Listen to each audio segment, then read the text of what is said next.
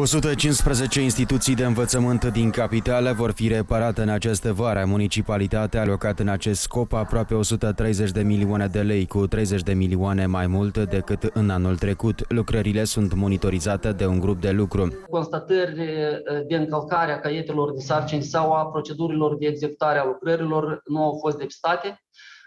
Au fost făcute constatări de necesitatea alocării sumelor suplimentare de bani pentru executarea anumitor lucrări. Asta urmează să discutăm suplimentar. 88 de grădinițe vor fi reparate, dintre care 3 vor fi reabilitate integral și redeschise totodată. În 14 instituții de educație timpurie vor fi deschise 26 de grupuri noi. Pentru reabilitarea mai multor gimnazii și licee din municipiu au fost alocate 34 de milioane 700 de mii de lei. Responsabilii promit că toate lucrările se vor încheia până în 1 septembrie.